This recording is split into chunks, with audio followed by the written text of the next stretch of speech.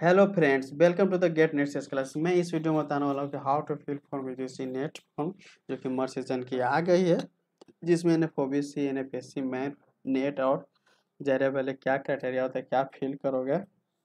मैं बता देता हूँ। देखिए फॉर्म सबके लिए एक ही फॉर्म होती है, जो कि यदि सी नेट फॉर्म को फिल करते हो बट कुछ क्राइटेरिया होती है पी एच डी परसेंट देने पड़ते हैं, क्या कैटेगरी दोगे और किन्हीं लोगों को ये भी डाउट होता है कि सर मेरे से कम नंबर वाले को स्कोर वाले को मैथ में लिस्ट आ गया एन एफ़ लिस्ट आ गया एन एफ़ लिस्ट आ गए ये सब रिलेटेड मैं इस वीडियो में क्लियर करने वाला हूँ। तो सबसे पहले मैं यहाँ पर देखिए एक नोटपैड खोल लेता हूँ। तो सबसे पहले देखिए होते क्या है ना कि आपको एलिजिबिलिटी सॉरी टाइपिंग में मिस्टेक हो जाए, देख लीजिएगा आप लोग, ये एलिजिबिलिटी जो टेस्ट होती है आपको दो तरह के से होती है सॉरी टेस्ट दो तरह की होती है। फ़र्स्ट क्या होती है आपकी? की यूजीसी होती है सेकंड क्या होती है आपकी? सीएसआर होती है, ठीक है? सीएसआर होती है। देखिए, दोनों किसके होते हैं? कंडक्ट बाय एनटीए ये आपको पता होना चाहिए, ठीक है? चलिए, अब यहाँ पर लॉन्ग कर लेता हूँ कि मैं दो कॉलम बना लेता हूँ। सपोजिट मैं ई का कर देता हूँ अलग और इधर मैं सी का कर देता हूँ अलग। सबसे पहले देखिए कि नेट के लिए देख लेंगे हम लोग तो नेट के लिए क्या चाहिए आपको? सबसे पहले हमको मास्टर डिग्री चाहिए, या पर्सिंग भी कर सकते हैं विथ फिफ्टी फाइव परसेंट और सो मैं इसको लॉन्ग कर लेता हूँ। आपको मैं कुछ टाइपिंग करके टेबल आपको अच्छा से क्लियर करने वाला हूँ। तो इस तरह का आपको मैं कर देता हूँ। देखिए, वीडियो को मैं बहुत ही बेहतरीन तरीके से बताने वाला हूँ। देखिए, नॉर्मल हो गए और जो मास्टर परसुइंग है, अब वो ऑल्सो देखिए, जो इसमें इंटर मार देता हूँ मैं। जो pursuing in master also can fill this form ठीक है? देखिए ईजीसी के लिए क्या क्राइटेरिया था? सिक्सटी परसेंट आए थे, कब आए थे? जब नॉर्मल होते हैं। बट बट जब मर्ज हो जाती है मर्ज साइकिल हो जाएगी तो उसमें लास्ट टाइम आपको सिक्स टू टेन परसेंट देखने को मिले हैं। समझ गए? तो इस बार भी आप लोग की अच्छी अपॉर्चुनिटी है कि आपको six to ten percent selection होंगे। सिलेक्शन होने के बाद यहाँ पर देखिए, यहाँ पर यहाँ भी सेम प्रोसेस होने वाला है। ठीक है? तो आप फॉर्म फिल करोगे, उसमें अगर आप नेट के लिए हो तो सिर्फ़ नेट देते हो, क्योंकि आपकी एज फैक्टर नहीं होती। एज फैक्टर से रिगार्डिंग में बता देता हूँ कि अगर नॉर्मल जे वाले को थर्टी ईयर्स है और जो भी फीमेल है, उनको थर्टी फाइव ईयर्स है और ओबीसी क्राइटेरिया और एस सी की अलग है मतलब थर्टी फाइव पी अबव है तो आप इनके लिए क्राइटेरिया है। कुछ लोग नेट सिर्फ़ के लिए होते हैं तो नेट अप्लाई करते हैं, बट जो मतलब दोनों के लिए हैं, वो बोथ नेट एंड जेरफ के लिए अप्लाई करोगे। ठीक है, इनके बाद अब मैं चलता हूँ। क्राइटेरिया सेम कि फॉर्म फिल करोगे एग्ज़ाम दोगे टॉप सिक्स परसेंट में जितने लोग आते हैं, नेट के लिए सिलेक्शन होता है, चाहे वो ई होते हैं, चाहे सी एस होते हैं। मेन चीज़ है जो हम लोग के लिए इस वीडियो में आए और आप लोग देख भी रहोगे N F O B C N F A C math इनमें बहुत कन्फ्यूज़न है कि ये क्या होते हैं, सबको, बहुत से स्टूडेंट न्यू स्टूडेंट को ये कन्फ्यूज़न है। तो देखिए, ये तीनों के लिए जे का क्राइटेरिया क्या होना चाहिए? सबसे पहले कि आप सेम फॉर्म फिल होते हैं। देखिए form fill same as a ठीक है? फ़र्स्ट थिंग सेकेंड थिंग कि जो परसुइंग है बेल्डन है। वेलकम करता हूँ। परसुइंग पीएचडी और एम फिल या एम टेक ठीक है? आपको ये एलिजिबल होगा फॉर्म के लिए, आप पीएचडी में डिटेल डाल दीजिएगा, आप लोग को अच्छे बेनिफिट मिलते हैं। और सेकंड चीज़ कि अगर जो परसिंग नहीं है non pursuing also also can fill this form तो आप लोग ऐसा मत सोचिएगा कि हम लोग सिलेक्शन नहीं होंगे होंगे non pursuing also can chance for selection. ठीक है?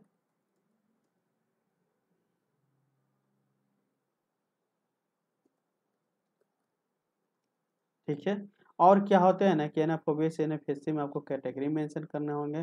देखिए तो सबसे पहले जो N F O B C हैं, वो ओ बी सी मैंसन करेंगे एन एफ़ एस सी हैं जो एस सी मैंसन करेंगे, और जो भी मैथ में आते वो माइनॉरिटी के होंगे, वो कर देंगे।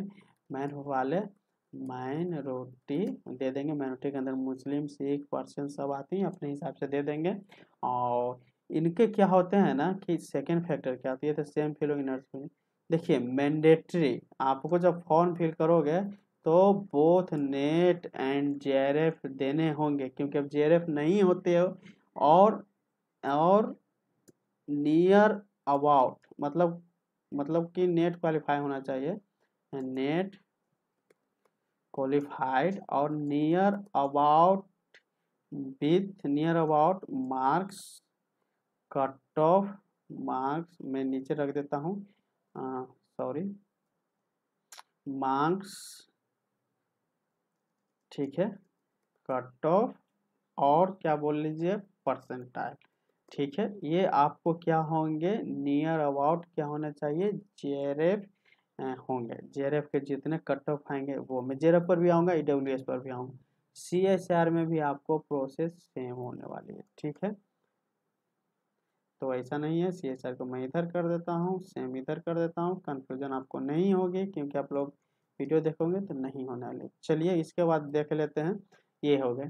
सबसे बड़ी बात है कि इनमें जब वो होते हैं क्राइटेरिया होते हैं, अगर कुछ हैं कि सबसे पहले मैं ई डब्ल्यू एच देख लेता हूँ इनके बाद। ई डब्ल्यू एच भी एक होती है, जो बीकेट सेक्शन के लिए होती है। जनरल में जो, ऐसे लोग जो बिलोंग करते जो ई डब्ल्यू एस में मतलब कि जनरल में है बट उनके जो फैमिली इनकम है family income not more than six lakh और भी जो होती है, जैसे कि लैंड योर पर्सनल जो लैंड है, ज़मीन है आपकी, जो not more than eight hundred to one thousand square feet नहीं होना चाहिए। इसके हिसाब से आप बना सकते हो अगर कम है तो ब्लॉक में जाके बना सकते हैं। इसमें आप कोई भी महिला हो गए, कोई भी जनरल जो आते हैं, वो जनरल के लिए ई डब्ल्यू एस है, आप यूज़ कर सकते हो। इनके परसेंटेज अच्छे होने वाले होते हैं और सेम आपको सी एस आर में भी होती है, यहाँ पर भी। ठीक है? एन एफ़ ओबीसी और एन एफ़ एस सी और मैथ में होने के लिए कैटेगरी होना चाहिए और कैटेगरी की जैसे एन एफ़ एस सी है और एन एफ़ एस सी हैं तो इन लोग के लिए यहाँ पर नोट मोर देन एट लेख हैं। एट लेख हैं। ठीक है? अभी तक मैं एन बी सी और इनको जानता हूँ। मैथ के लिए एस सी के लिए साथ में भी आ, कोई भी नहीं है डिस्काउंट अथी नहीं है मे भी पता नहीं। ई डब्ल्यू एस हो गए और फॉर्म फिल सेम हो गए। ठीक है? ऐसा नहीं कि ई डब्ल्यू एस भी सेम फॉर्म है। सबके लिए वन फॉर्म होते हैं। आपको वहीं कैटेगरी वाइज डिवाइड किया जाता है। तो आप देख लेते हैं हम लोग J R F J R F होते हैं ना, टॉप रैंकर बोले लीजिए टॉप स्क्वायर होते हैं अपने फ़ील्ड के, अपने सब्जेक्ट के, अपने कैटेगरी का, टॉप स्कोरर बोल लीजिए। समझे? तो इससे क्या होता है ना कि नेट और जे आर एफ़ में जब दोनों के लिए सेम सेम फॉर्म फिल होगी for NET and J R F और ऑल और another, other, all fellowship. Fellowship का स्पेलिंग गलत है, ये आप लोग देख लीजिएगा, ठीक है? सेकेंड चीज़ कि जैसे कि आप क्वालिफाइड नेट से एट टू टेन देखिए नेट से आपको eight to six to ten percent vary करते हैं, ठीक है? में मतलब अंतर डिफरेंस होते हैं डिफरेंसेस होते हैं कट ऑफ़ के लिए, ये टॉप के लिए जेरा को लिए जाते हैं, ये ऑल्सो अवेलेबल होते हैं। और आपको सेम जो होंगे ना ये के लिए आपको अप्लाई करने पड़ेंगे बोथ नेट एंड जे के लिए। तो जे का टॉप जो होंगे, उनके हिसाब से जे को लिया जाएगा और उनके नीचे से, देखिए, लेकिन जब ये मर्ड साइकिल होते हैं, इस बार तो अभी सिक्स मिलती है तो वन परसेंट मिलती है। नॉर्मल आपको वन परसेंट रिज़ल्ट आती है, ठीक है? वन परसेंट रिज़ल्ट देते हैं। बट मर्ज में last time one point something result आया है।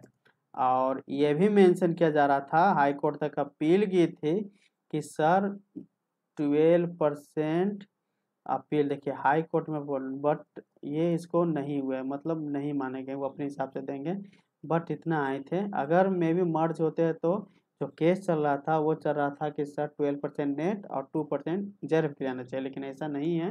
वो अपने हिसाब से वो खारिज कर दिया गया है, सिक्स टू टेन परसेंट के बीच में वो आए हैं नेट का रिज़ल्ट आए थे हर एक सब्जेक्ट का, जिससे के लिए और one point something one point five बोल लीजिए जे के लिए भी आए थे। और ये प्रोसेस भी सी एस आर के लिए सेम होना चाहिए। ठीक है?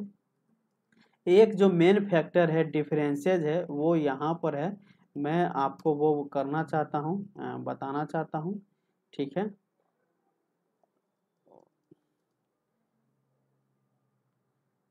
चलिए देखिए। कि अगर जैसे होते क्या है ना कि टोटल यहाँ से मैं चलता हूँ कि N F O B C N F S C और मैन के लिए टोटल जो सीट है वो है one thousand